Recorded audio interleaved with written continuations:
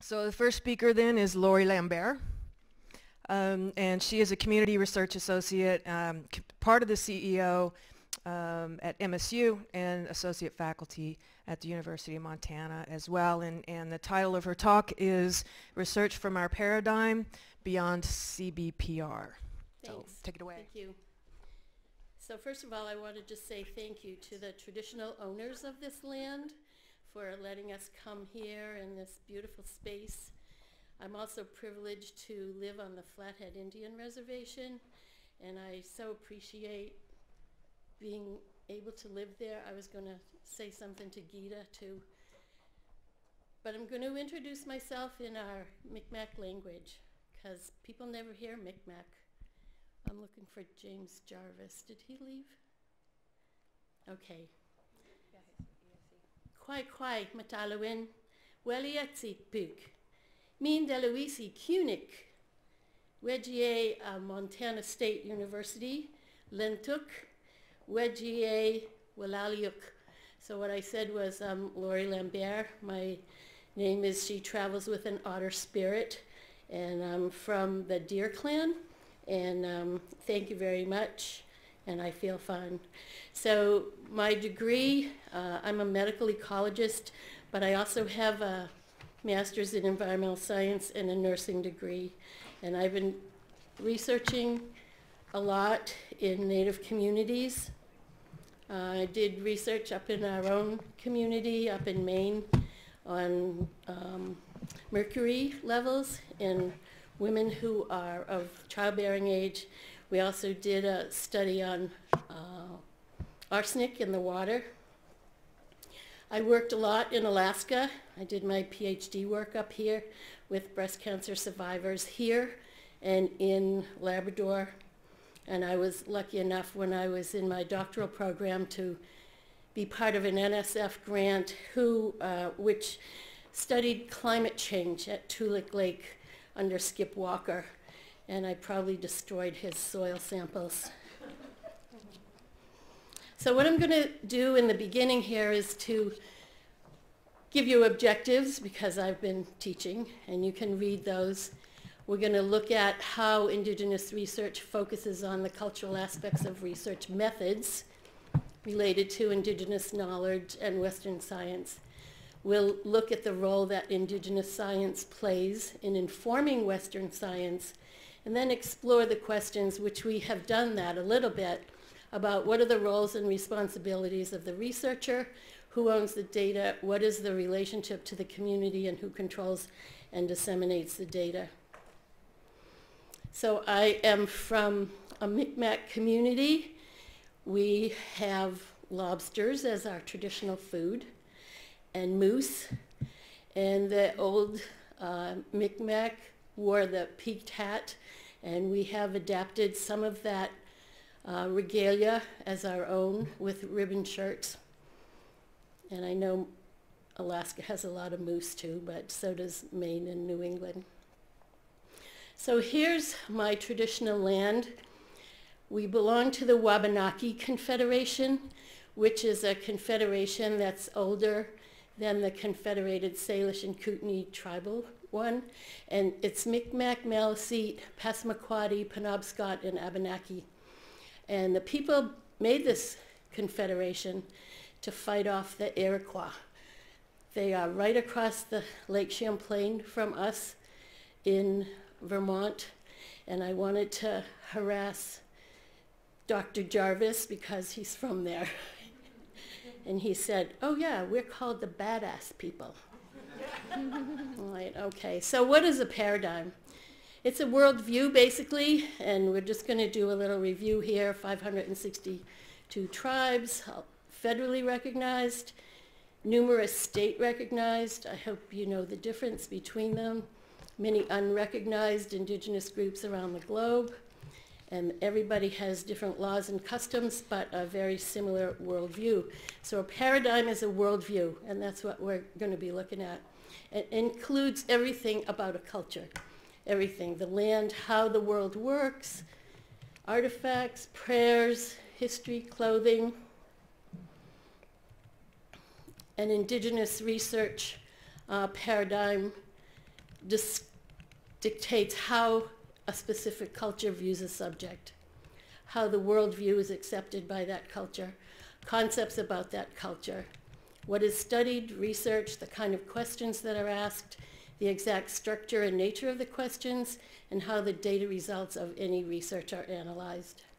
And you've heard this before. But the indigenous paradigm name is misleading because it comes from the community who are our research partners. It could be a Yupik paradigm, a Salish paradigm, a Mi'kmaq paradigm.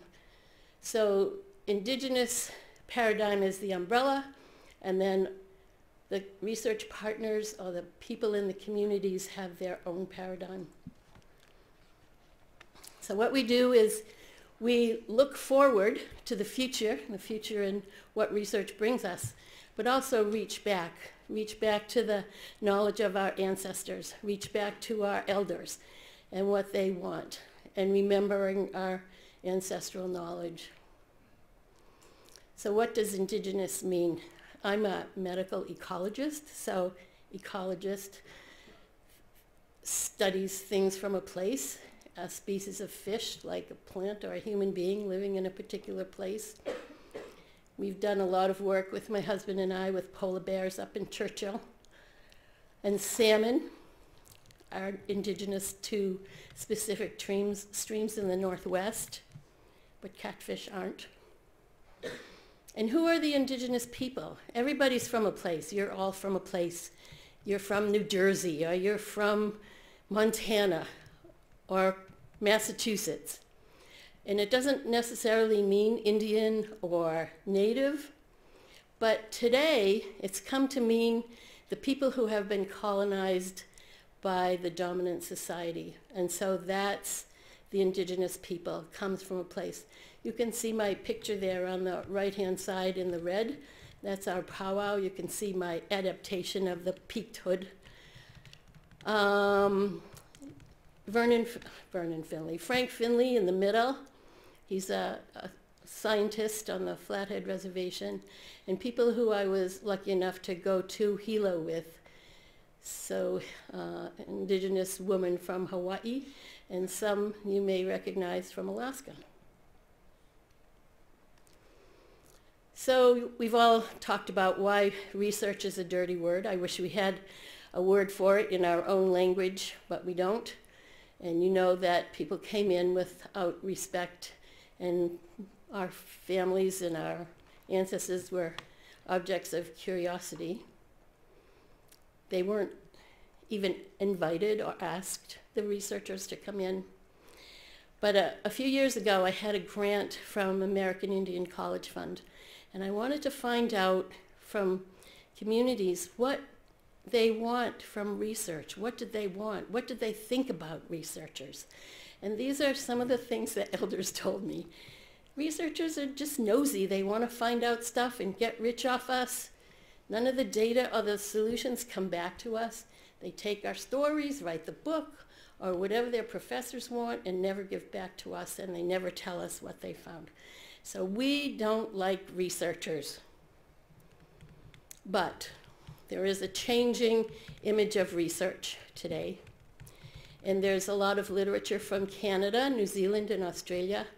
Maggie Kovach is a Cree, and I'm going to give you the names of some books that you can read about Indigenous research and some other things. Anyway, Maggie uh, has a book out called Indigenous Research Methodologies.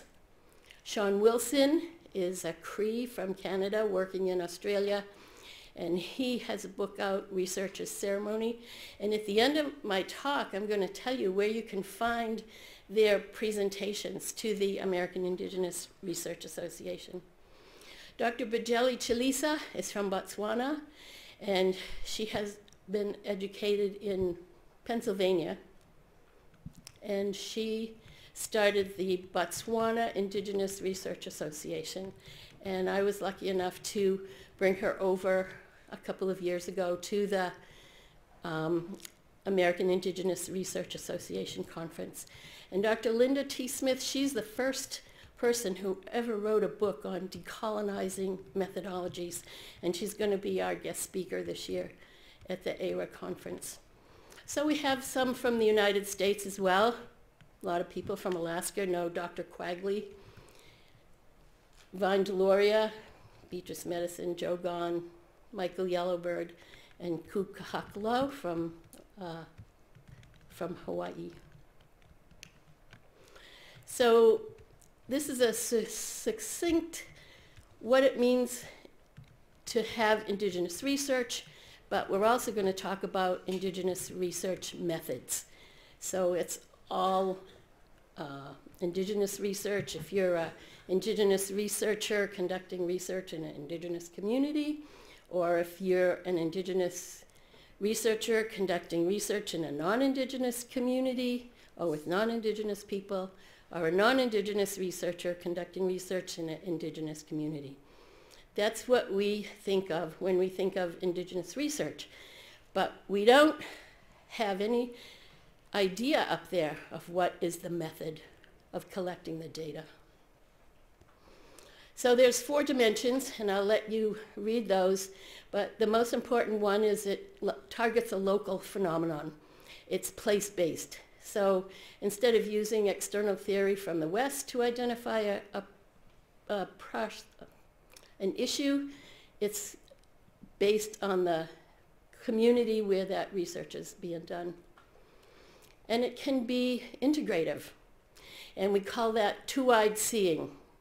One eye sees it from the Western view, and one eye sees it from the indigenous view and it's an integrative method. And a lot of um, research are using both methods, and it's locally relevant.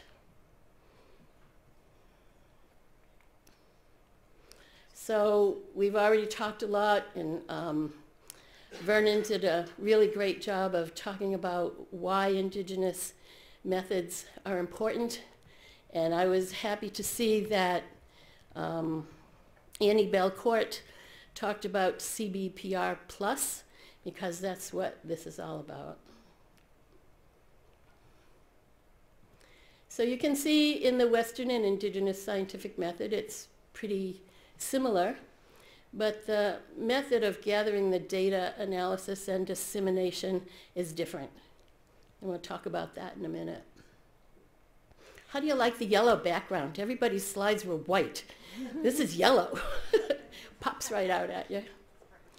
So Western science um, versus indigenous science. Uh, Western science is more compartmentalized and indigenous science is more holistic. We see in Western science everything is like the study of biology, physics, geography. We don't see it like that. We see it as the whole. Whether you know it or not, we've all always been researchers and scientists and discovered that beans and squash and corn grow better when planted together because corn takes out the nitrogen and the beans put it back and the beans grow up the, the beanstalk and the squash leaves cover the soil and make it not as uh, exposed to the sun. We learned that smoked buckskin is waterproof and unsmoked is not. And how did we know that? Maybe some ladies were standing around a fire one time and the buckskin got smoked and it started to rain. And then we learned by looking at animals, watching what plants they eat and what certain ailments they used the plants for. And we know all all the acetylsalicylic aspirin and the willow and the yew plant. We've talked a lot this afternoon about story. And it's a way that indigenous people learn and we're always still learning and we're still gathering story. And this is a story of trees. This is a Ogimakwe, who's an Ojibwe, she described the lesson she learned from a group of trees. And she talks about how the older trees give protection to the younger trees. And Suzanne Simard at UBC discovered through radiation testing of carbon that the older Douglas fir trees do provide carbon to their saplings. And this is a picture of her and her grad student measuring carbon from old growth trees to the younger trees. And it's transferred through the mycelium of the fungi. It's amazing process. And so that story has shown Western science that, yeah, this really happened. And then we talk about indigenous research story in medicine and pharmacology. And the raspberries and cloudberries are still used to prevent problems in pregnancy. Yesterday, uh, Vernon talked about the three R's, but I would say that there are four R's, five R's. Respect, relationships, resilience, reflection, and reciprocity. And these are my two friends up in Churchill, Manitoba. So for the first part, you talk about respect for the culture, the methodology, the research topics, how the question is asked, and we always want to talk about questions of resiliency, forms of analysis, and how the data is presented. The methodology is the study of the method. People always use those terms interchangeably, but they're not. Methodology is the study of the method that's used for that specific culture or community. And it's the method, once you study the methodology and you know your community, what is the method that you use to gather the data? Is it face-to-face meetings, talking circles, going on a seal hunt, or a potlatch? You can gather data in a lot of different ways and just giving them a tool or something to fill out. About relationships, they come from the heart and passion of the researcher. And in your folder, there is a um, conceptual framework that we developed as part of the work that I did in the four communities.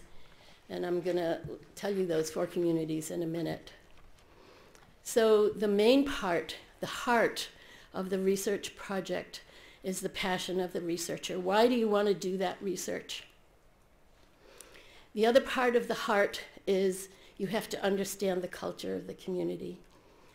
And I know when Brandon and I were going up to Rocky Boy, he really did a great job of studying the history of that community, what the people went through. And then the researcher goes into the community and say, I have this idea I have these skills. What do you think? Should I do this? And then returning to the community with data in ways people can understand it. Then you want to ask yourself, why do I want to do this research? It's really hard. Am I doing it just to get tenure? Do I just want to write a book? Why am I doing this research? And what is my role as the researcher? And I think that's very hard to answer. What is your role and how are you fulfilling that role? And does the method that I chose to gather data allow me to fulfill my role? And how am I changed? And if research doesn't change you, you're not doing it right. How many people here have been changed by their research? I'm sure, everybody. That's excellent. I'm going to um, skip over this slide because you have the heart in, in your folder, and I'm going to get back to that. But this is a way that my friend Pam uh, in the pink pants gives back the data.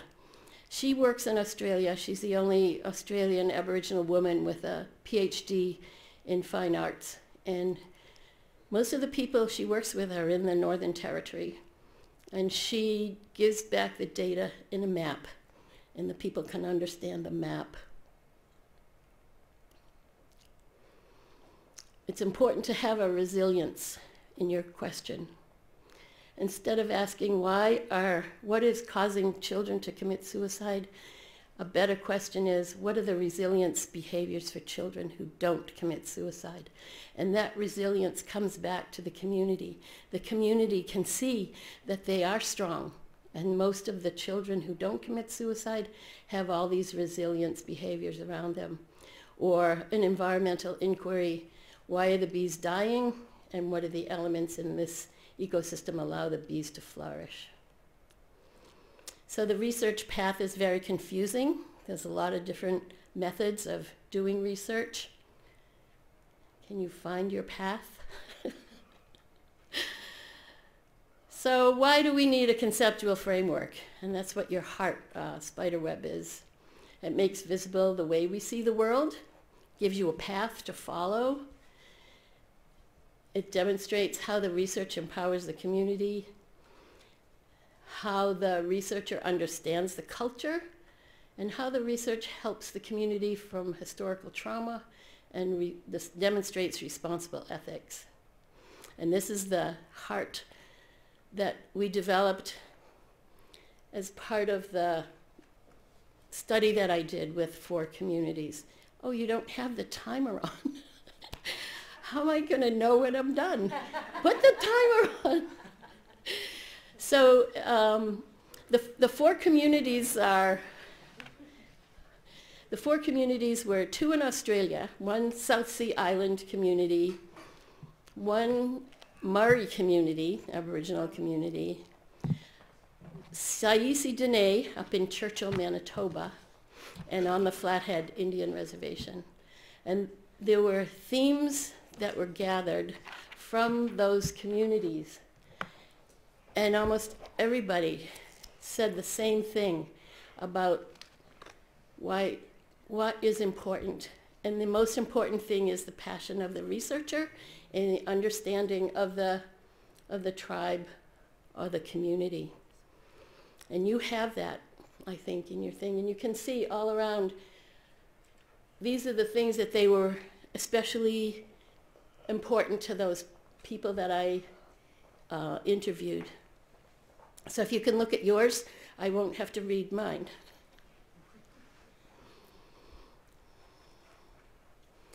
So what can be gathered as data? This is an Aboriginal man gathering rocks that were in a campsite from ancient times.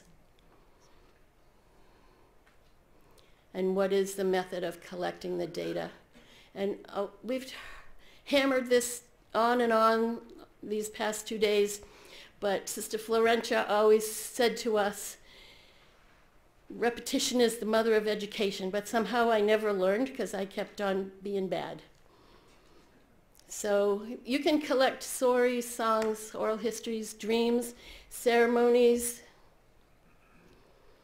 and stories are the tools of, of all our research, behavioral, biological, and environmental. And it lets the participant tell their stories and their perspectives. And as Native people know, there's many different kinds of stories, creation stories, historical stories, stories of current events, personal stories. But you need to have a relationship with the storyteller and a relationship with the story because you need to interpret the story for yourself. Is this what the story is telling me? And it may not be the same story for every listener. And is the storyteller credible? Back in the day, the elders told me when anthropologists came, they would tell them the wrong story, and the anthropologists would go off and write the book, and it was the wrong story. Who's laughing? True story. So as far as um, collecting cultural activities, of course you need permission, but you can collect different kinds of dances, jump dances. Um, in the Congo, they have dances for everything. And there's um, jingle dress dances, women's fancy shawl. How, how, many have ever been to a powwow and know what the dances mean? Okay, we'll talk about that in a sec. So the jingle dress is a song for healing, and um, it's made with the uh, coins, if you've ever seen the jingle dress. I don't have a picture of it. But a grandfather, the story that I heard, a grandfather was dying and he had a dream and he told his granddaughters to make this dress and go out and dance and he got well. Another dream that predicted further events is this coming of the buffalo, the spotted buffalo, the cows, and the white people. And in my tribe, we're collecting tribal songs, and you heard those songs last night from the women who sang. They're getting their songs back, and it helps with the elder self-esteem and collecting and singing the old drum songs as well. Collecting environmental data. I'm always interested in this because the work I do is with environmental health and climate change data. And you can ask the elders stories and it enriches your um, proposal so much to have the elder stories of before and after, the changes in animal behavior and the landscape, and whether, what are the salmon telling us about the streams or the river, what are the polar bears telling us about climate change. You can learn a lot from what the elders talk about. Another example is indigenous art. The picture of Pam in the pink pants. She was adopted out as a child. And when she came home, she found out who she was. And she started making these mud maps. And the maps are made with the mud of her home uh, stream, her home river. And she makes them, and that gave her a lot of peace and belonging. So indigenous art is good as research data as well. And you can see little kids who are in war-torn areas. They draw pictures of bombs and guns and people getting blown up. And that shows you what they're feeling. So how can indigenous knowledge inform your research problem? What epistemological indigenous knowledge have you have your participants or community written, created art, told stories and sang and have oral histories. And you can add this to your literature, your um, literature review, and it's really important to add that if you're having a literature review by all non-native people is to have the story told by so-and-so. So I'm going to tell you about the Micmac potato basket as a metaphor for your proposal. Micmacs they gather potatoes. They still do it, but they don't do it in baskets today. They do it machine-wise. But this is a 1,000-year-old design of a Micmac basket, and it was made by my cousin. His name is Richard Silliboy, and he lives in Maine. So what a, all the knowledge of the tribe about making that basket, how to go into the forest and collect the black ash tree, what songs to sing as the tree is cut down, how to pound the tree so the growth rings separate, and stories that are told as the basket is crafted, and why is the base crafted with seven splats, seven generations. And this is the picture of the tree, picture of Richard separating the splats and pounding the log. So the epistemology of the basket and the epistemology of your proposal, your project. And the axiology of it is not fudging your data, not stealing another basket maker's design, and protection of the culture, the data, the stories. And ontology is the reality or the vision that you want your proposal to look like or the basket is complete and what do you want it to look like. And we talked about this, who owns the data, but it, it was really amazing. In Australia, the government owned the data, the professor owned the data, or the funder owned the data, but you know now, here in America, the tribe owns the data. And we talked about IRBs before. Um, some people want to be co-authored on the publications. That would also show what communities they came from. So some people might not want to do that, but it's always good to ask.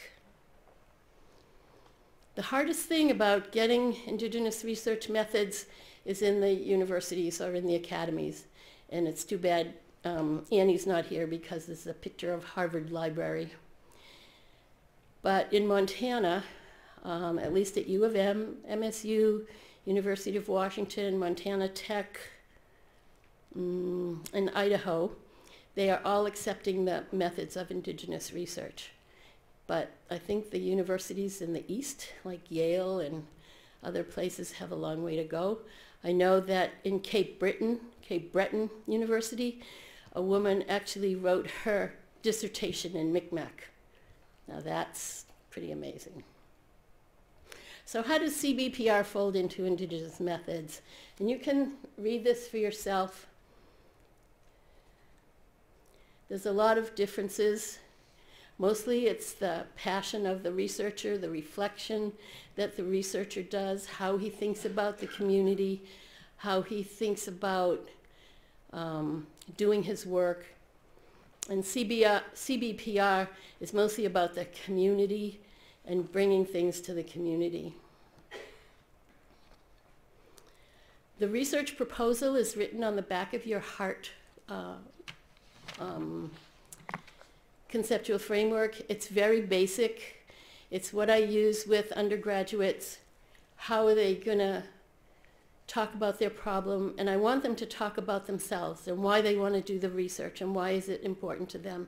Even if you're a non-Indigenous person coming into a community, that is really a cool way to um, let me know who that person is.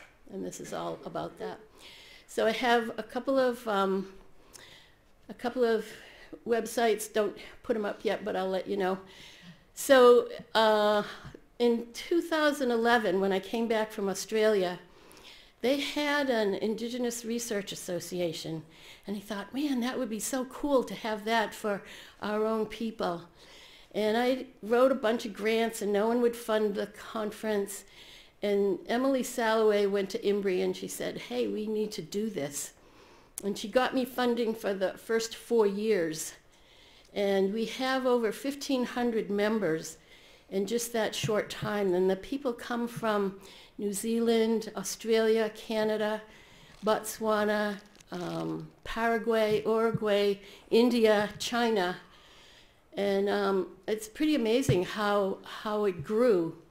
The other thing that I did after I formed this association was write the book. And you can, it was all published in the book. It's called Research for Indigenous Survival. And at the American Indigenous Research Association, we have a special section for graduate students. Since we're not part of a tribal college anymore, we got our 501c3. And the IT guys are going to show the website for it. I checked them out yesterday. They're so good about it. So on the website, on the right-hand side, can you scroll down a little bit with it? Keep going. Keep going. Okay, so under uh, the meetings, all of the presentations from past conferences are there. So if you want to know what Shawn Wilson said, or Maggie Kovach, or Bagele Chilisa, they're all there. And students really love it. People have been using it in their classrooms about indigenous methods. Um, you can be a member for $10. We wanted to make it inexpensive for developing countries so that they could become members. And then um, there's a special section for graduate students, and that's monitored by um, Jesse Venable from Virginia. And they support one another, writing their um, dissertations. We've had a few um, graduate using indigenous methods in their PhD program, more than a few, quite a few actually. And there's a bibliography there, um, how you get to be a member and you can see all of that.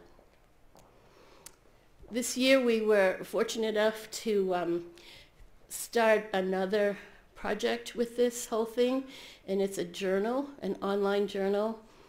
You can go to the next website, and you can send your papers, and they're juried, and we can publish them in the online journal.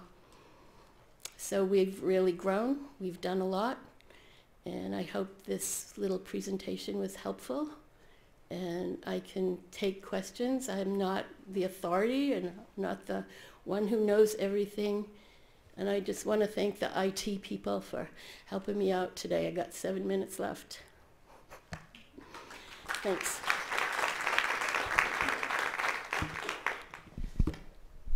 Thanks, Lori. Uh, questions? And if there are none, I'm here. so we can get Lillian up here. Okay, thanks so much.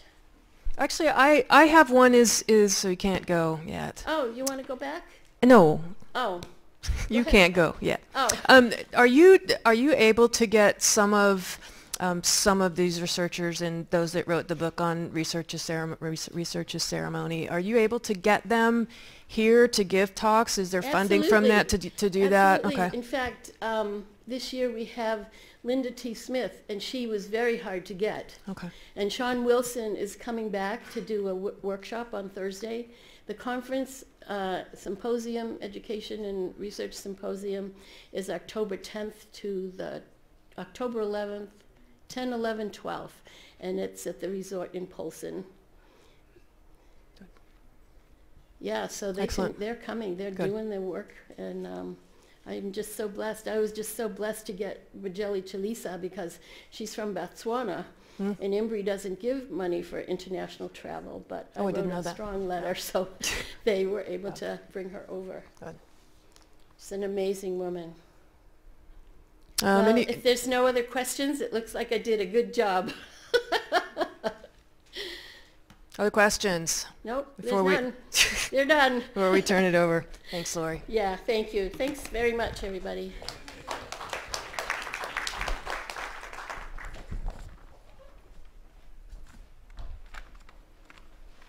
So hi. um, I'm not sure whether we're the sideshow or the main event. Oh, it does move. yeah. exactly. Well, I just I just keep thinking about um, the spicy. yeah, exactly, exactly. Which we call it playing um, Sean Spicer. Um, so I'm Lillian Lynn. I'm not used to these personal pre, um, introductions, so I'll probably do a lousy job. But um, I parents are Chinese, uh, were Chinese, and um, immigrated during the 40s to uh, New England. Um, so um, just south of the area that Lori had talked about in Massachusetts, uh, Rhode Island and Massachusetts. was raised in Massachusetts. Um, had my first experience with clinical trial um, back in 1982 when I got my master's degree, and I've been working in clinical trials ever since. Um, went to University of Washington. Okay, so I get the feeling if we had everybody back in here, said, okay, who's ever touched the University of Washington? We, you know, there's a lot of us. Go Huskies. Um, and uh, after that, um, had a job at Emory University as a professor. Um, we talked about this a little bit. Some of us, uh, the academic thing is more for us than others. Um, I didn't like the academic thing very much. So went to the Centers for Disease Control, decided I'd try the bureaucrat thing. I was a statistician there for 18 years. And then um, Alan, right there, my husband, um, really wanted to go back to the West in a serious way. And so um, we saw this job announcement, Director of Statistical Consulting at Montana State University. It's like, okay, not only is it in the West, it's actually where Alan's from, which is Montana. So we came back, um, and these NIGMS grants have been accru- accruing, accruing, accreting, I guess. Um, so now we have four of them um, supporting statistical consulting at Montana State and beyond. So um, we're available. Um, there's me and Megan uh, Higgs, whom you heard about, and um, graduate students at Ebb and Flow. There's Aaron in University of Montana, uh, Jacques Philippe at uh, University of Alaska Fairbanks. Um, and I'm blanking on her name, and I can see her face, UAA statistician. Um, so yeah, it just keeps getting bigger and better. Um, so today, along with um, my colleague Roz Singleton, who is still at the CDC, not yes. No, actually not. I'm, Not. A, I'm a guest. Oh, you are a guest. Okay, so you're a guest at the CDC. Okay, so you're actually ANTHC guest at CDC. Okay, so maybe I can become a guest again sometime. uh, we're going to talk about alternatives to individually randomized um, placebo-controlled trials. Um, and so very definitely going back to the, um, I don't know whether we call it the Western paradigm or what we call it, but the paradigm of um, what NIH, it's been described to me as what NIH will fund. So let's, we'll, we'll call it that for now. Um, so, okay, big green arrow. Let's try it. Um, where am I pointing this at?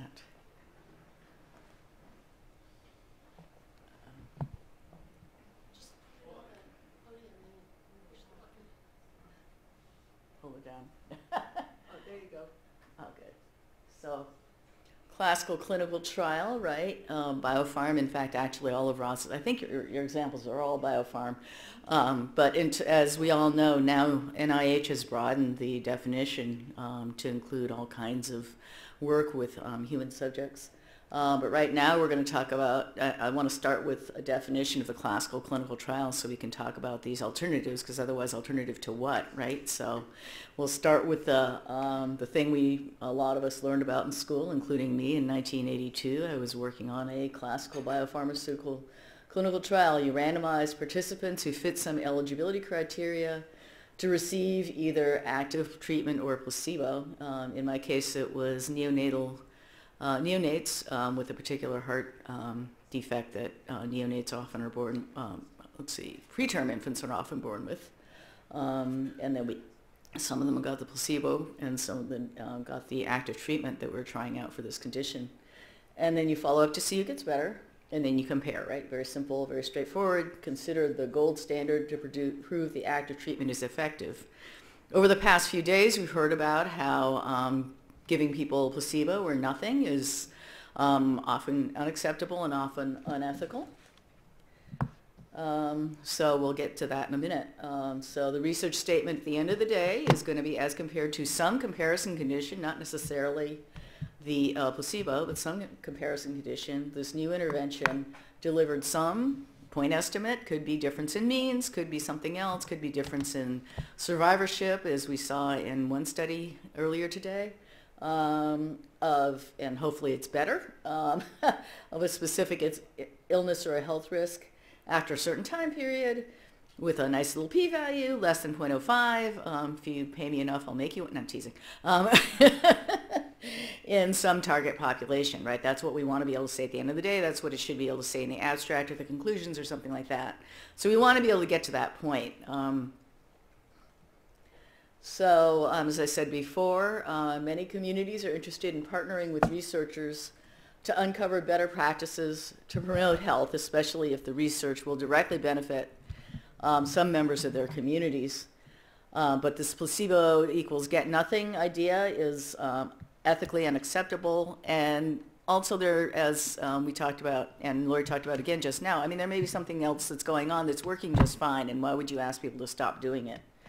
Um, you may not be able to randomize individuals for different reasons. Um, my feeling is that the strongest reason for not randomizing individuals is because there are some kind of intact social units out there. They may be families, they just be a mother-child dyad um, that are likely to want to adopt the same intervention. And, um, we'll, and Roz will have some great examples of that later on.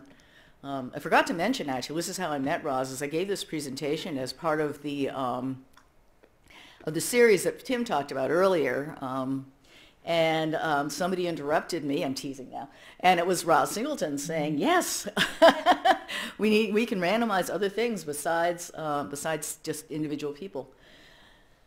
So how do we test an intervention? Um, there's several different alternatives to placebo-controlled trials um, that I'm going to talk about, and I'll go through each of these in turn, talk about what the design is, and talk about the pros and cons, and also about um, yeah, and talk about the pros and cons. Um, so there's the standard of care control, which you heard about earlier today, actually. Um, there was one study that we heard about where the standard of care actually, um, and then there's the the a waitlist control, where um, you tell people you'll get the intervention that we're testing out at the end of the study. Uh, there's a crossover design, and I'll go over all these in detail, just giving an overview. Uh, cluster randomized and stepped wedge designs, and those are the ones for the intact social groups.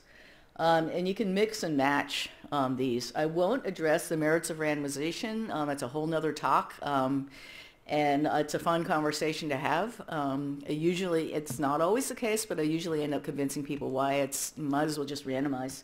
Um, and I won't address early, contamination, which is early adoption of a new intervention, and that's a huge problem. I think if you have something that's not dis- dispensed um, by um, by prescription, you're going to have um, uptake of something before um, you're ready to release your control group, so to speak. So uh, the considerations I'm going to talk about today is the nature of the comparison condition and consent, uh, randomizing, data collection, um, follow-up and retention, the length and size of the study. I mean, you guys get very small grants, so the length and size becomes really important. Uh, and data management and analysis capacity. You've heard me talk about this already, so um, you know it's important to me. Um, so start with a standard of care or usual care comparison condition.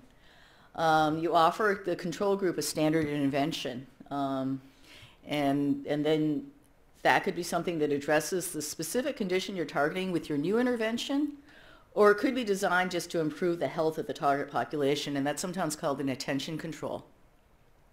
Um, it may be similar to interventions already available, or it may be something recommended by, say, a professional society, or it may be something recommended by community members. Um, I think the hot, but these are really actually pretty hard to do, these usual care conditions. Let's see what I've got here. So um, I'll let Na- Roz talk about this um, in the study that she worked on. And I'll let you um, hold that. Oh, afraid of it. No, actually, she doesn't have. She's a, she only has one So, hand. So. so one good example of a standard of care comes from Johns Hopkins uh, work on Navajo in the Navajo Apache pneumococcal efficacy study. And I want to thank Kate O'Brien, the PI for this study, for allowing me to use her, her slides. So in the Navajo and in Alaska, we had very high rates of bact- serious bacterial infections, including pneumococcus, some of the highest in the country.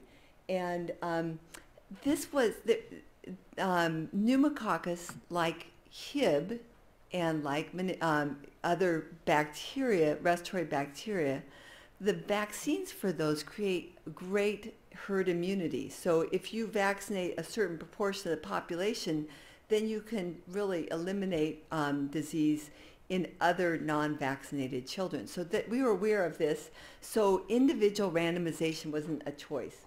So there was an infrastructure there also. So in this study, I'm just going to talk about standard of care. Um, in this study on the Navajo reservation, they were very interested in pneumococcal vaccine and making sure that it worked in Navajo and Apache infants. And you can see here's the uh, study area. And next slide. So after consultation with the communities, they decided instead of using a placebo to use a meningococcal vaccine, meningococcal C vaccine, as a comparison.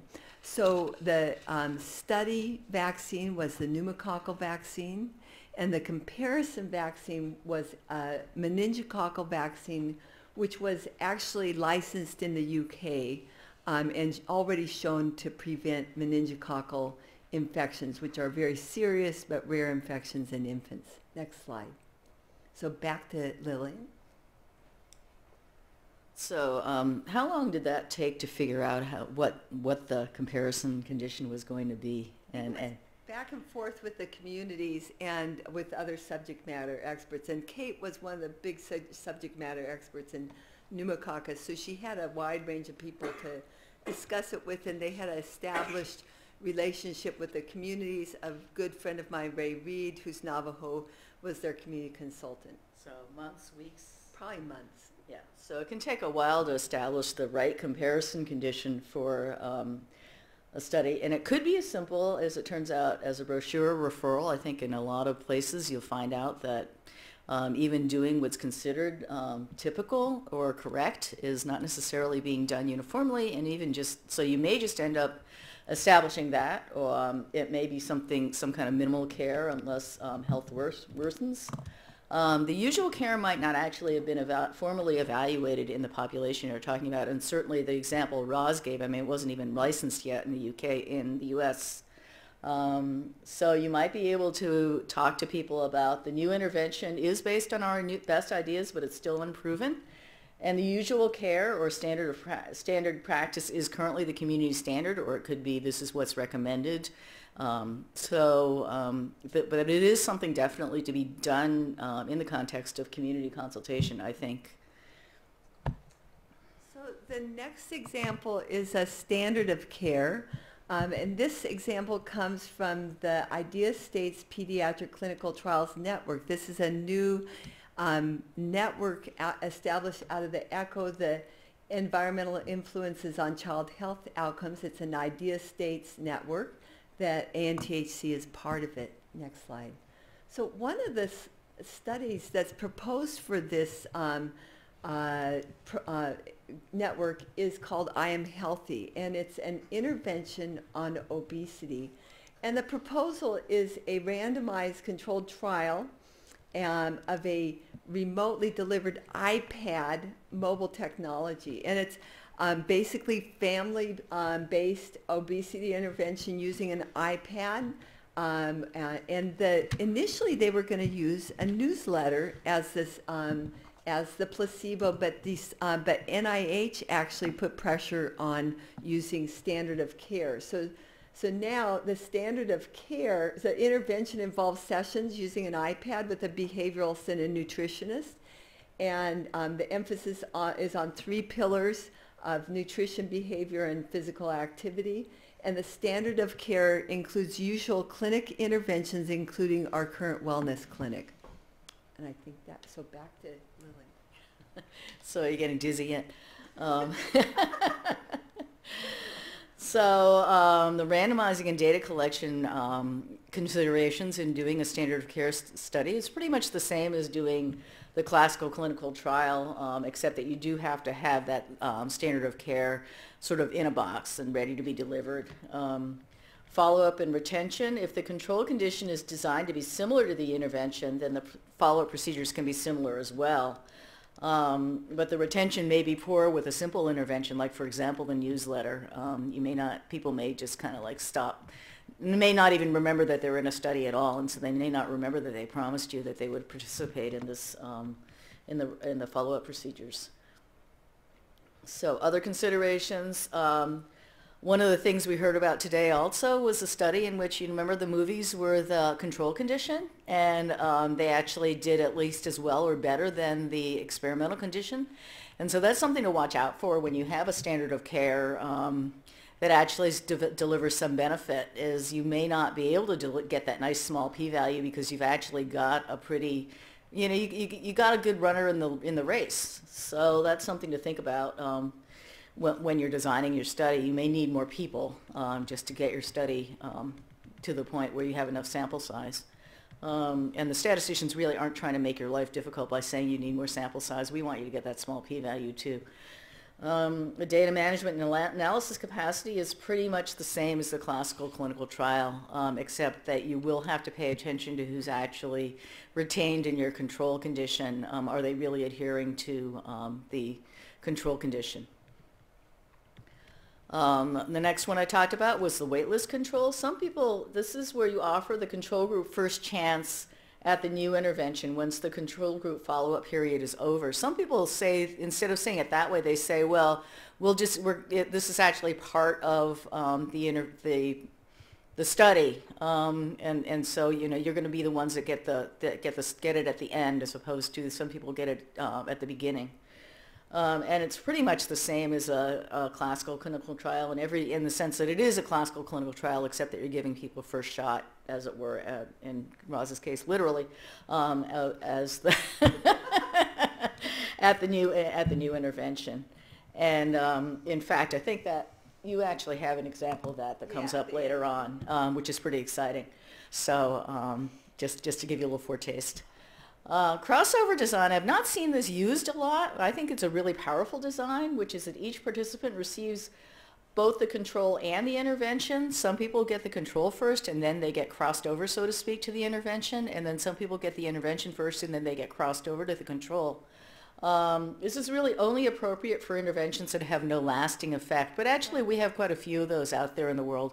Um, one, one of the ones that I can just think of just off the top of my head, so to speak, is some kind of an asthma control um, um, medication. You know, once once you stop using the asthma control uh, medication, it pretty much you know wears off. Um, another one that was um, I heard I heard about a lot from uh, colleagues was epilepsy control, seizure control medication would be the same sort of thing. Um, and the follow-up period would be the same under each condition, so each person is being asked to um, enroll for twice as long. Um, the um, again, the to talking about the mix and match, the um, the control condition is whatever you want it to be. The considerations I talked about before still apply. Um, you randomize um, the order of the intervention conditions. Um, explaining design to people can pose a challenge. You know, am I in this? Am I doing this? Am I not doing this? What, what, what? You know, before I was doing it, now I'm not doing it. What do you want me to do? You know, before you were mad at me because I was doing it, now you're mad at me because I'm not doing it. You know, so those kinds of issues, issues have to be well explained. Um, retention and follow-up uh, measures should be taken at the same time during each condition because as statisticians at the end we're going to um, line everything up and say these were the one the measurements under the con, uh, control comparison condition these are the measurements under the control condition so we're going to want to line those up as closely as we can uh, retention and follow-up is going to be more challenging as the length of time is twice as long. And so that's another reason actually why we randomize the order because um, if you have a lot of people that are kind of like dropping out toward the end, you're still going to get enough people that are um, in both conditions to have at least that first period of, um, of follow-up. Um, I said that again. They may think they're finished. Um, twice as long. Uh, but the main thing that's cool about these is that each participant serves as their own control. The minimum sample size that the statistician recommends is going to be smaller than if you were just doing people that were independent of one another. Um, but you may want to inflate the sample size a little bit, uh, goals a little bit to um, protect against that loss to follow-up uh, data management and analysis capacity, you need to be set up for repeated measures, um, which is a little bit more complicated than just looking at everybody at the end. Um, and you need to be able to link data from the first and second period so we can take advantage of people serving as their own control. Um, and we certainly need that indicator. Not only could the participant get confused, but this analyst could get confused if you don't tell me which people are under which condition at what time. Um, so then the cluster or group randomized design um, is everybody's favorite. Um, we all like the idea of um, randomizing so intact social units.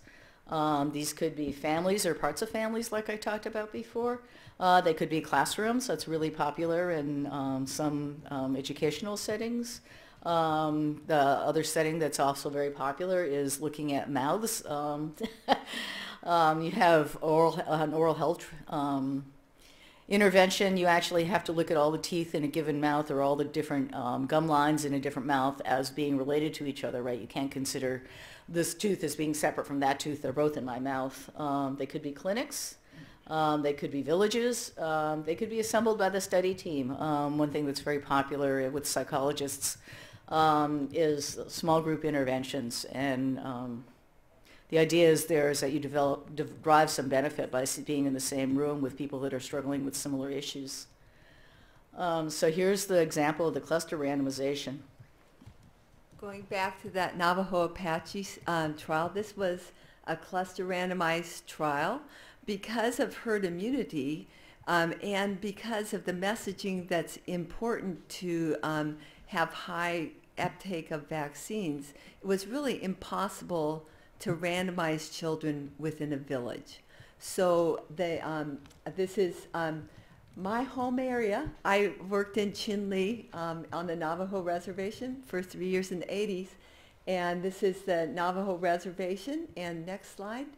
Uh, um, so they, um, the team, uh, it'll keep going. It'll, it'll eventually come down. I think you have to just keep clicking. Oh, okay. So, so they actually randomized, it skipped over, but they actually randomized into groups of villages. Um, and so there were um, clusters um, that were grouped together and they all received one of the interventions. And then that gave the ability to look at two comparison groups, both the vaccinated, which are the little amoeba, and the star, the, um, the triangles, which are the, um, uh, the unvaccinated. So the vaccinated and unvaccinated in each of those groups. And then you could look at um, both the vaccinated in each group and the totals in each group. And um, the unvaccinated in each group to look at herd immunity. Next slide. So here's, so the um, overall attack rate was um, in the vaccinated, and then there's the indirect in the unvaccinated, and then the overall. Next slide. So back to Lily. So hopefully that wasn't too much information at one time, but the idea is that you could actually try to vaccinate different proportions of people in, or Well, did no, you just try to do yeah. that? You didn't do that, okay. Community, there, some were vaccinated and some weren't. Okay, gotcha, gotcha. So um, the special features of these studies is that the cluster, um, or the, um, is now the participant um, in terms of, in, in many respects. If you think about these in terms of the cluster being the participant, they're a lot easier to think about. Um, so they are the unit of, of um, intervention and randomization. So we randomize the clusters and we intervene on the clusters. Um, is the intervention inherently cluster level, like I said, um, like a policy change or a new curriculum? Is it a household level intervention? Um, are we taking advantage of something like herd immunity? Um, and will uptake of the health behavior or decre- decrease in disease risk be enhanced by requiring the cluster to participate? Um, so in Roz's example, um, we feel like that the herd immunity is going to have some effect, and so that's why we wanted to look at these clusters of people rather than just the individuals. Somebody's taking a picture. I'm so honored. I'll let you. um, so, um, so the thing that comes to be a lot of fun, uh, my community uh, engagement colleagues can talk about this stuff. Um, if it's inherently cluster level, how do you get the clusters to consent? This is huge. Um, I don't want to underplay it, but I also want to say this is not my area. Um, does the house head of household or the primary caregiver consent? I mean, um, parents or caregivers can, uh, especially uh, can consent or assent for their children. Um, if it's a classroom, does the teacher or the individual principal um, give the consent? Uh, will a clinic director give consent if it's clinic level intervention? Um, will tribal council give consent? Um, these are all big questions I don't have the answer to, but these need to be worked through. Why are you shaking your head, Alan? None of them can give consent. That what do they give? Assent? They have to go to the parents. Yeah. Oh, in terms of children, yeah. So, other considerations, um, randomizing. Um, you have to tailor this to how you recruit your clusters. You may still be able to do some kind of a consent as they come into the study. I mean, this is one of the things that, you know, some of them will take longer to consent than others, but it doesn't stop you from randomizing the ones that are consenting. Um, it's best if it's performed by the study team rather than in the field. Um, fortunately, these tend to be smaller studies, so it's not as burdensome to randomize, say, 30 schools rather than several hundred students. Um, the data collection itself, actually, um, in Roz's example, you saw that actually the data collection is going to be individual level um, on the on the participants, um, or it could be a cluster level measure representing the cluster. Um, so it could be a cluster level mean, or it could be a measure on the cluster itself, um, or it could be that each member of each cluster provides a response.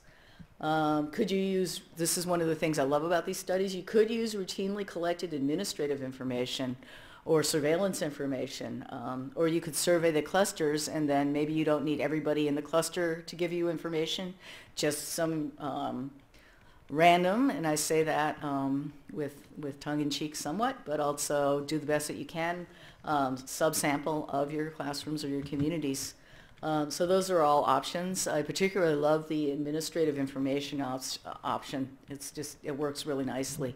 Um, I did one of these just by, um, at the end of the day, I think I ended up with you looking at Medicare claims data um, for the for the for the outcome I was interested in. Um, follow-up and retention, again, you need to tailor this to the response measure.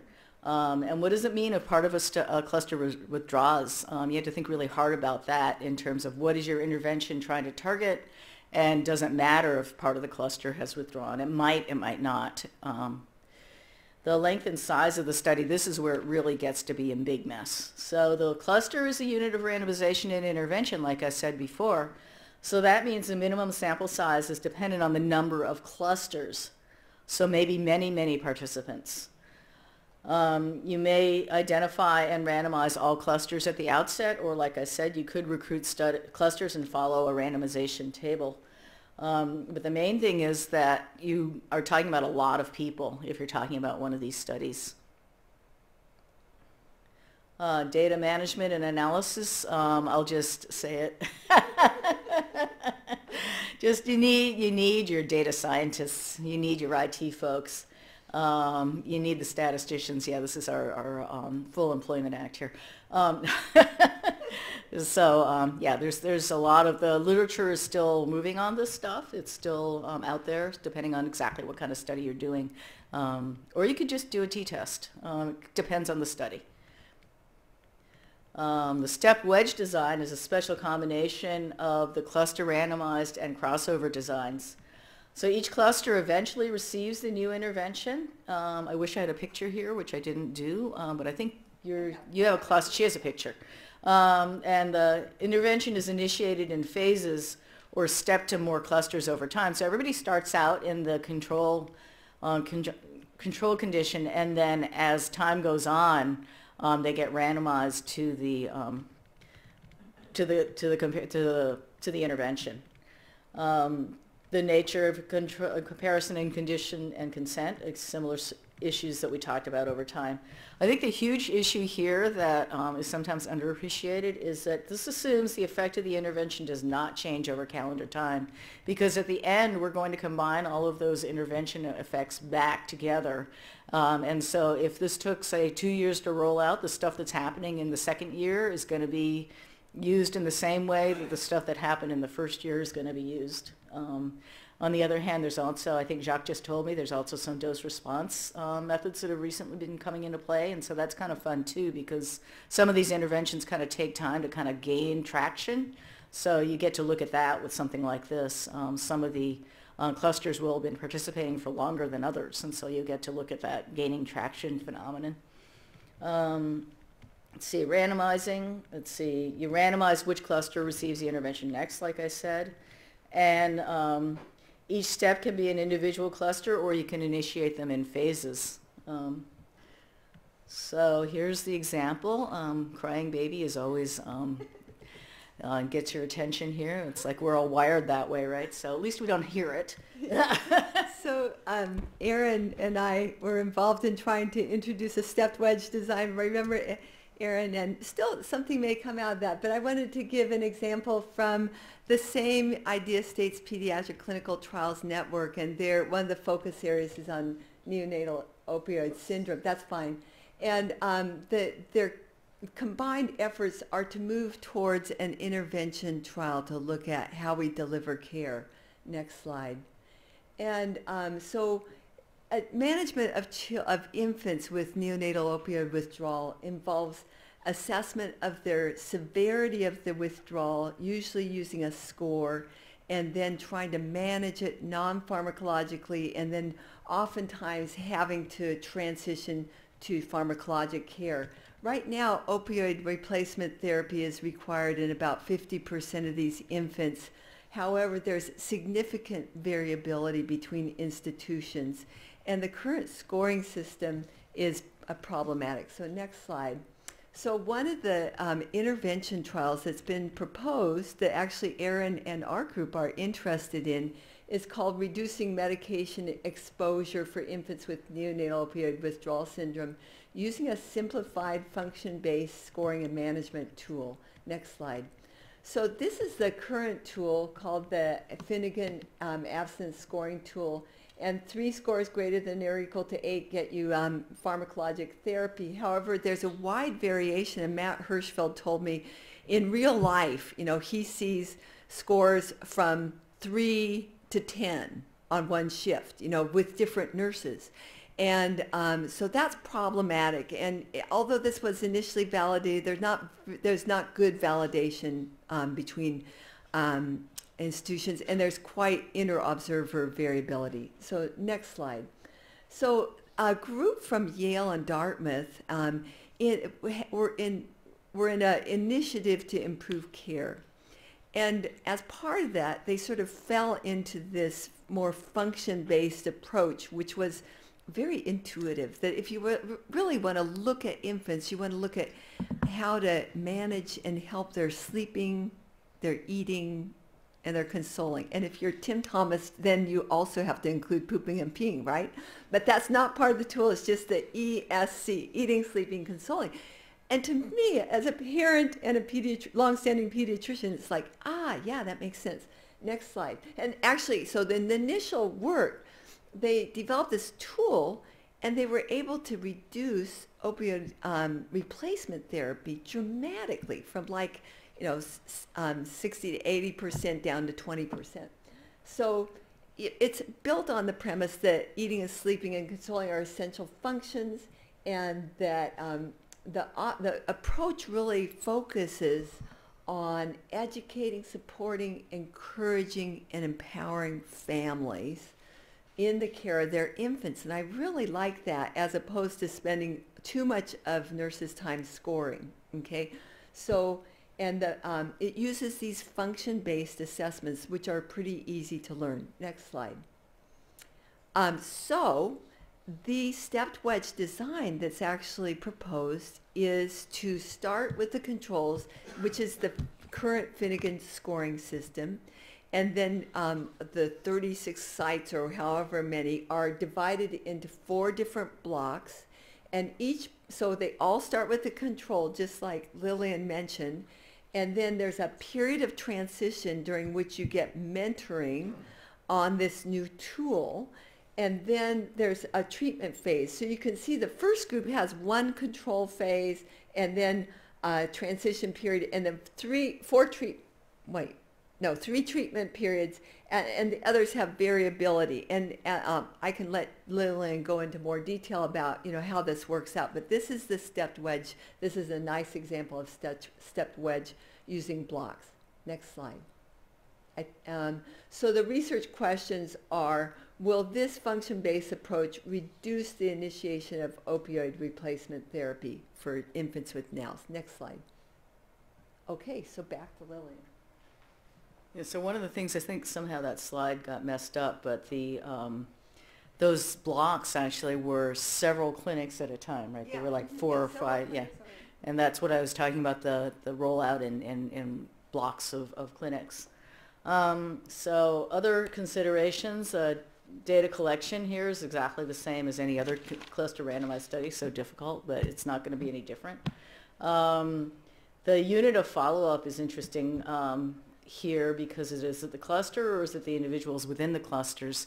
Um, one of the things that I asked Roz, which she said, well, we hadn't worked that out because we haven't done it, but um, if you are, um, if your infant is, is born during the, um, dur- during the, the control time period, and then um, the new the, the the new method is rolled out during the time your infant's still um, in in under your under care. Do they get the new or the old intervention? Um, that's that's the kind of thing you'll have to work out when you do one of these.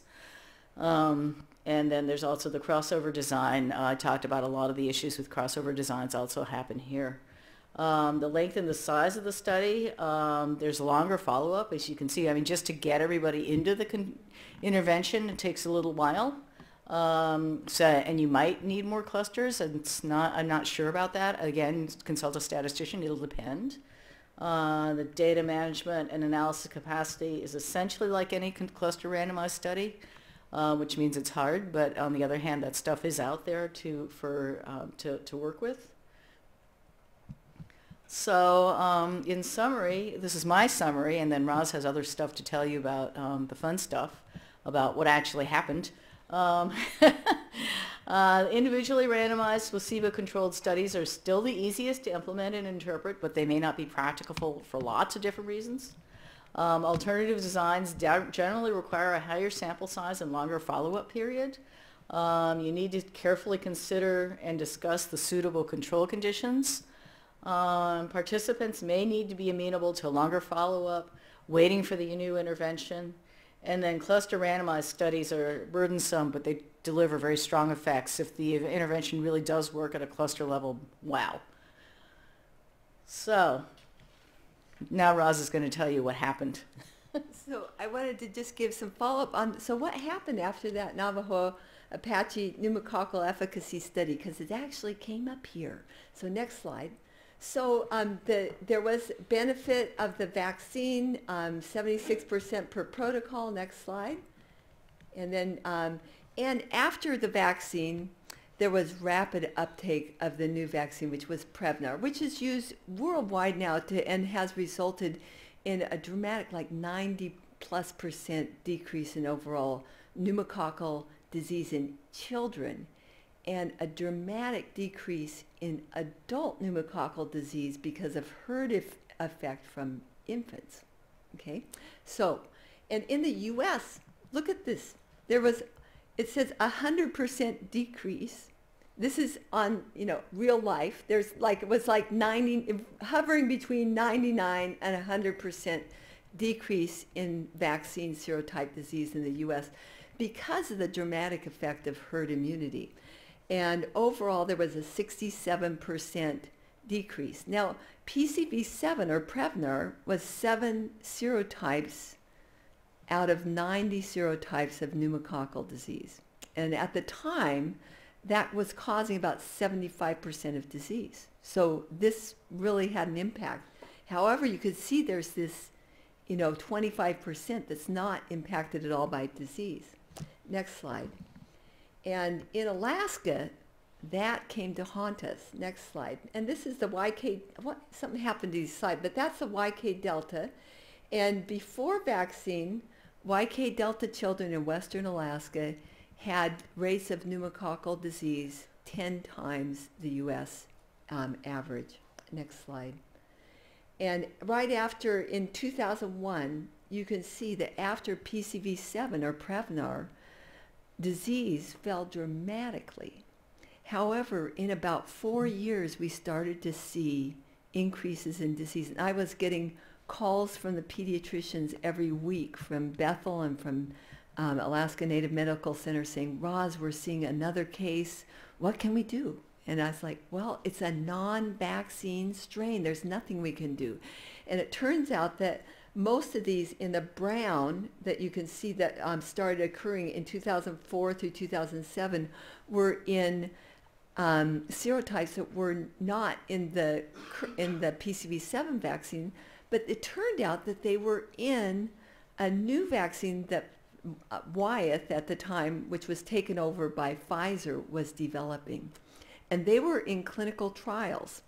Um, and so we knew that a lot of the disease that we were seeing, and th- this was causing endocarditis, meningitis, babies were dying, and pediatricians get very upset when that happens. So do the families. We all um, have a lot of angst. Next time, next slide.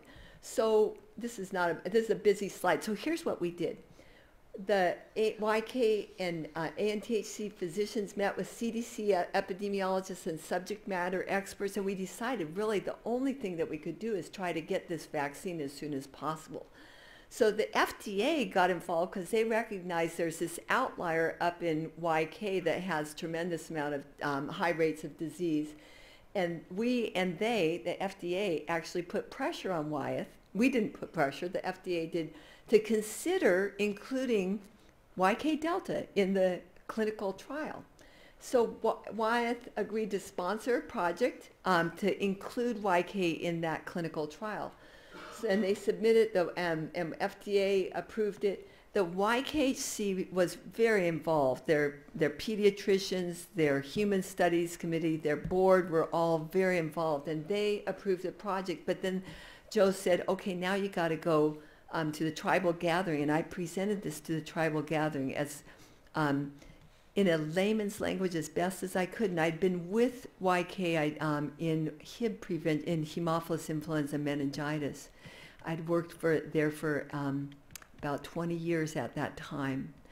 And I presented this at a tri- um, tribal gathering of um, elders. That's their big gathering. Five elders stood up and said, my son died of Hib meningitis, or my nephew had Hib meningitis and is deaf, or my, you know, cousin had Hib meningitis. I think we should do this. And they had that experience that we'd gone through before. And it was really that meeting that decided that we should go ahead and move forward. After that, we met with, um, we got approval by the IRB, by YKHC, ANTHC, and then we visited 24 villages and got approval from the tribal councils. So um, I believe firmly in locally done research, and this is part of our research team with my good friend Bessie from Toksook Bay, who is a health aide involved in this project. And we had a local study coordinator, research nurses, and data manager. The only problem that we had was with a research nurse that Pfizer made us hire, who was from, from Vermont she came to YK and lasted six weeks and hated every minute of it. We were very happy to see her go. Um, but we, we had local community members that served on the DSMB. Um, um, like half the physicians were involved as co-investigators or DSMB members or consultants. And the village um, health aides received GCP um, study training and administered study vaccine. Um, and the monitors were all over us. They were coming every month to monitor the data. And so why, uh, Pfizer was so nervous they did an audit and they said that we passed the audit faster than they'd ever done it. So next slide. Um, and this is just a list from all the local people who were directly involved in the study, either as monitors or as um, staff. Next slide. And I went up to Bethel um, every two weeks just to give oversight, and I talked to him every day, many times a day. It was very intense. But I just wanted to say, um, give a little plug for the advantages of local research control, even in very um, highly technical research. Um, I think it improves buy-in by the communities and the organizations, and it makes the approval process more efficient. It builds local capacity. There's still a very robust a local research capacity in YKHC. I'm working with them on more studies right now. And it builds sustainability in, um, in, in really having plan for health improvement and, um, and can contribute to programs and policies. Um, and next slide. So in this case, we vaccinated children. It was a, um, non-placebo controlled. We just enrolled children um, and the uh, standard of care was getting um, the old Prevnar vaccine. Next slide. And um, right, you could see our enrollment up to 2010. The vaccine was licensed on in um, March 24th, 2010, and uh, Pfizer agreed that we were going to, we're sort of wait list, on the wait list. So as soon as it was licensed, they sent us vaccine and we started vaccinating. We vaccinated 90% of the infants in six months. And um, next slide, YK was the first population in the world to demonstrate the effectiveness of the PCV13 vaccine in preventing pneumococcal disease in infants. Next slide. And after that, we saw a dramatic decrease in pneumococcal disease in infants that was sustained. Next slide. And I think that's it. So hopefully we've given you some things to think about. I noticed that a lot of the studies are right on this, thinking about, okay, you know, next phase is going to be some kind of a larger rollout of my intervention and thinking about, you know, how might I design a study so I have a comparison uh, comparison that I can market, so to speak, to NIH or whomever. So, question? Thank you. Anybody have comments or, or questions?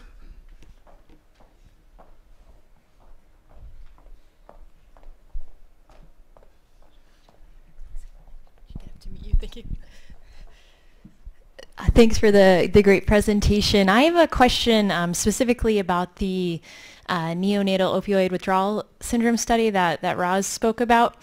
And in Montana, we are um, hoping to implement um, that study focused on that ESC tool. And so we're working, we've made connections with a number of hospitals and um, some of them already know about this tool and, there, and there's one in particular that um, that is very interested in implementing the tool with or without the study. And so I just wonder if you have any suggestions um, for a clinical trial in that case where um, a cluster may learn about the intervention over the course of the study and want to adopt it early.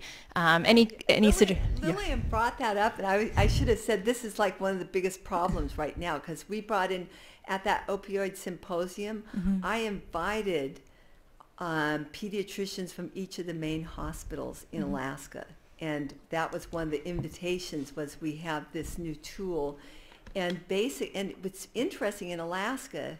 Um, uh, you notice that um, Evelyn Ryder and folks from Alaska Neonatology were there, and basically, what folks are saying is that we want to do all do the same thing because because we transport babies from the different outlying hospitals, so they want to have the same tool. So it's going to be a little problematic. What I'm hoping is that maybe we can get them all to join us in the study and then we'd all transition together.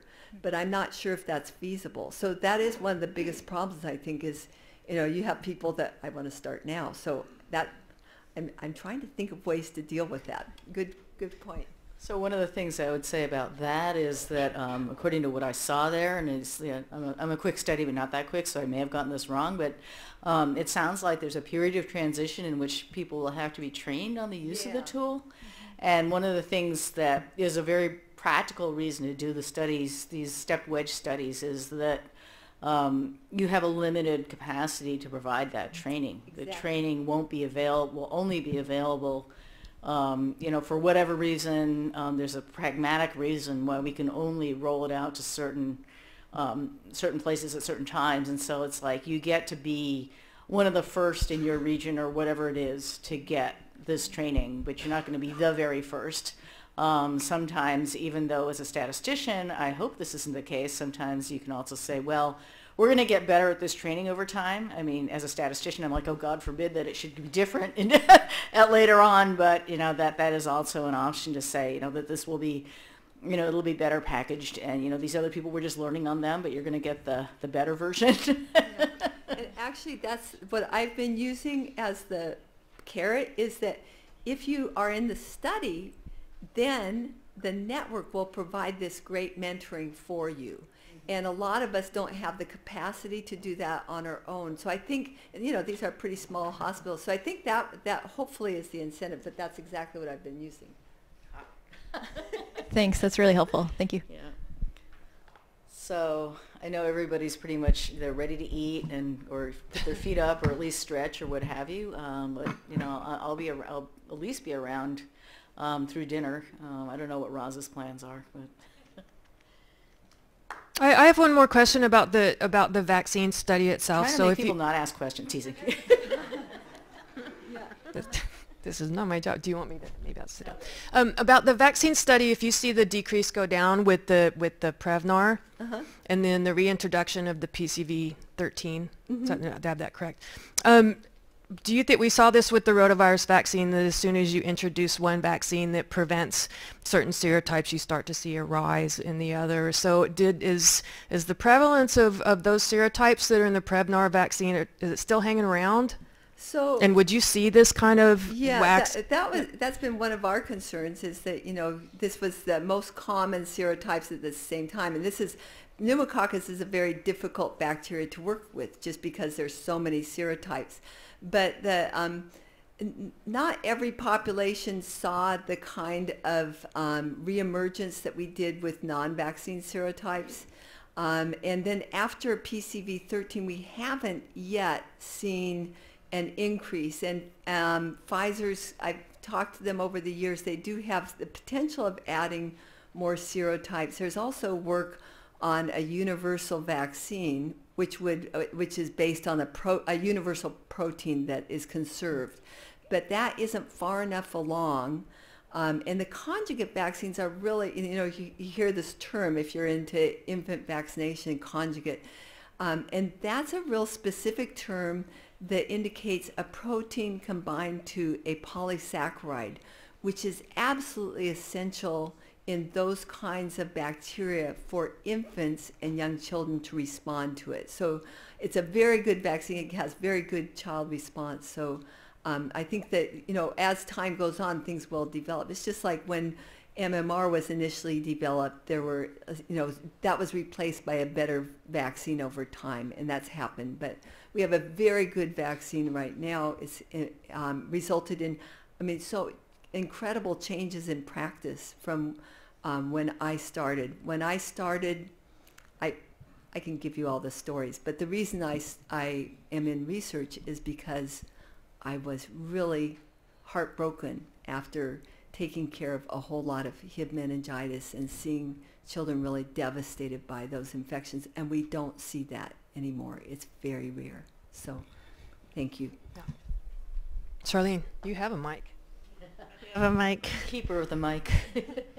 Thank you for sharing this. I'm going to give Jadon a little plug. He was one of the first year funded investigators for um, for the CTRP and his project looked um, at perceptions of clinical trials with Alaska Native and American Indian peoples um, because some of us are aware and familiar that clinical trials haven't always been well received by tribal communities and that's not with just within Alaska but in the lower 48 as well. And so we held focus groups, a half-day forum and did interviews with our tribal leadership um, on perceptions of this and um, I think Jadon could speak a lot to it, but um, we didn't meet saturation. I'll say that the the data was fascinating um, and very complex. And um, but some of the things, and obviously this is I'm from the Community Engagement Outreach Core, but one of the umbrella findings was that um, the relationship with the investigator often took precedence over the exact study methods. And so I'm, you know, I'm kind of pulling from both the last two presentations combined that that relationship and you went to that region, you said every two weeks, and that makes a really big difference for acceptability and feasibility um, with these communities who are engaging in things or being willing to um, engage in something like clinical trials. And anyhow, I just wanted to share that one of multiple findings and give Jadon a little plug in if you want to say anything or add to it. Um, it was just, it was kind of a combination of the last two presentations and how to, things to consider when designing um, clinical trial studies with our populations. That, that's a very important um, thing. These are not easy studies. Uh, people are not excited about getting vaccines for their children, and you have to. Um, so, so it's a very difficult message, and having um, indigenous people involved and working with you, people from the community. I'll give you one story. So one of those 24 tribal communities actually denied, didn't want to participate. Okay, and so Joe Klejka said, okay, Roz, why don't you go out and talk to him? And I was like, oh gosh.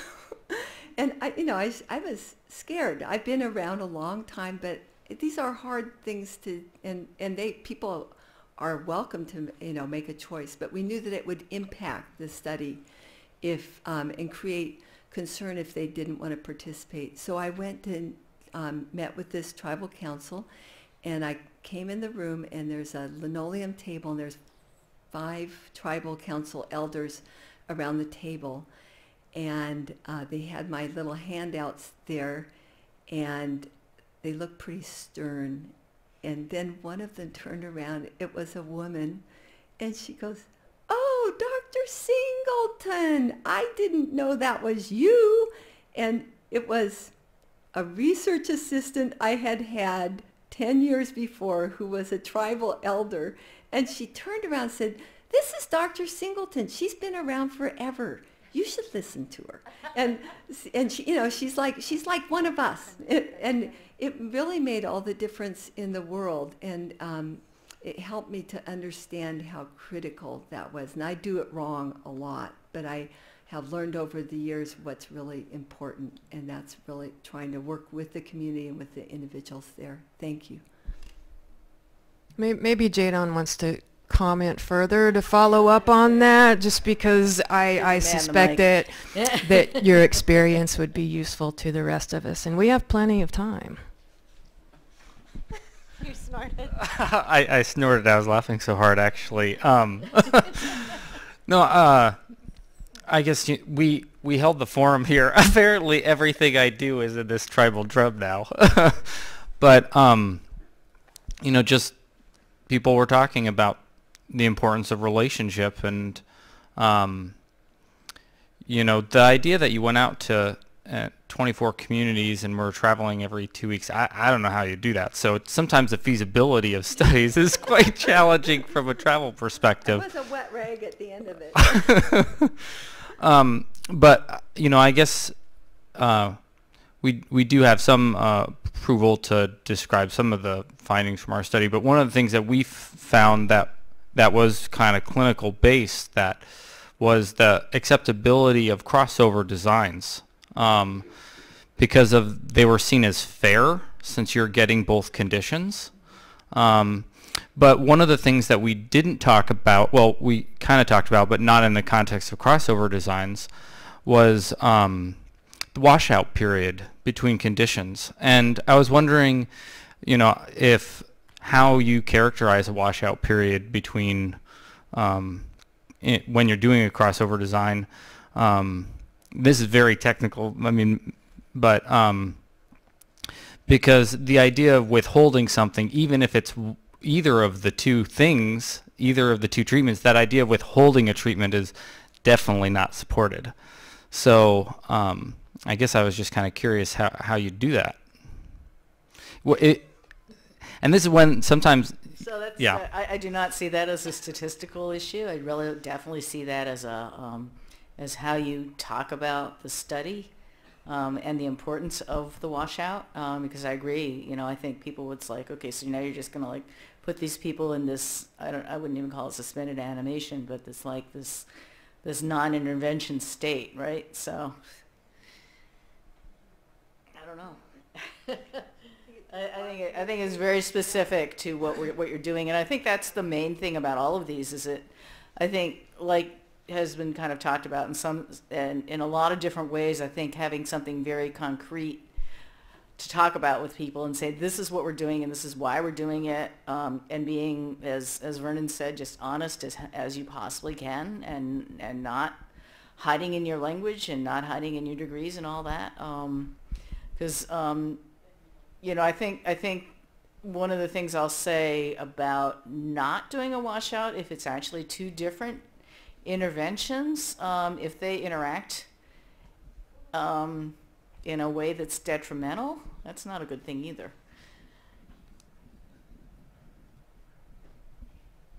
Other questions or, or, Just to- Yeah. we can't, we can't, a- I can't. okay, uh, just and I, that's I guess I just want to say we also heard about transparency and communication, Yeah, so yeah. that's quite clear. So Yep. for us, it's just kind of uh, when you're being transparent in communication about an unfavorable part, something that you know that is not going to be quite as favored. Not going to you be know. popular. Yeah, yeah. Just, so just it's say, I know this is going to be kind of icky. Let's, but I have to go here or whatever. yeah. Uh, Sorry, I was just wondering whether there are uh, analogies to sort of uh, the natural world or things that people go through that, you know, we go through pretty protracted winter here that's kind of like a, you know, washout period from uh, the hyper manic, man. the, the manic period of summer. And I'm not sure if you, if those, there are opportunities to sort of explore kind of what people's real experiences with other things, uh, how, how that might apply to a washout period. Uh, I haven't really thought about it very well, but, but just maybe there are places to go from people's real experience.